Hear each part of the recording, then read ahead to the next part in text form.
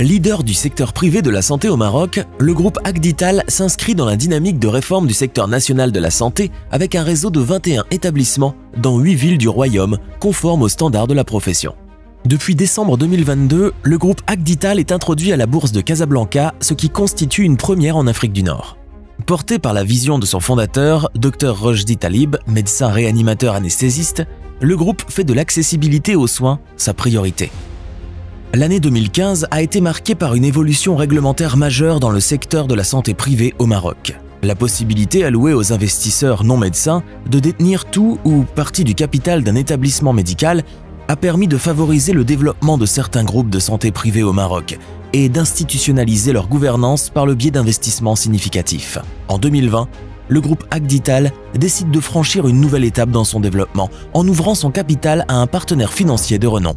Avec le concours de ce dernier, le groupe Agdital accélère son programme d'ouverture de cliniques à travers le royaume et répond à la forte demande induite par la généralisation de l'assurance maladie obligatoire.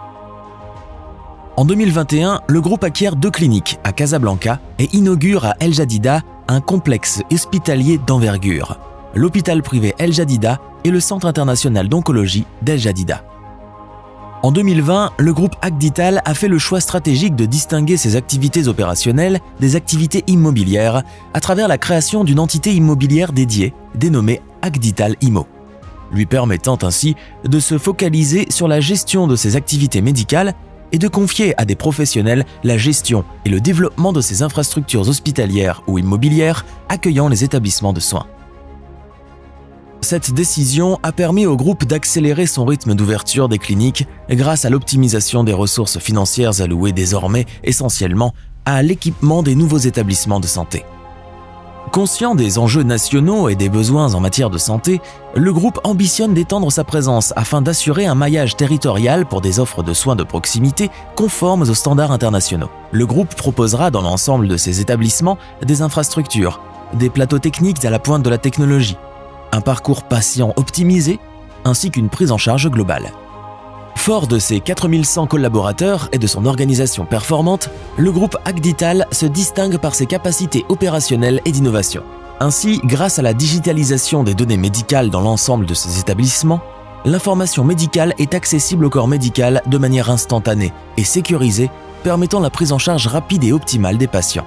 Les ambitions et la vision du groupe Agdital s'inscrivent parfaitement dans la dynamique de réforme du secteur de la santé portée au plus haut niveau par les orientations royales. En 2022, un nouveau projet de loi instaure à son tour les fondements d'une nouvelle gouvernance du secteur de la santé.